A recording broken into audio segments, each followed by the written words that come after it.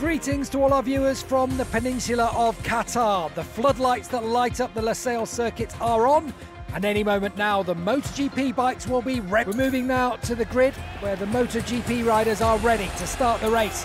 The tension is sky high, but these guys are seasoned pros. They can withstand any kind of pressure.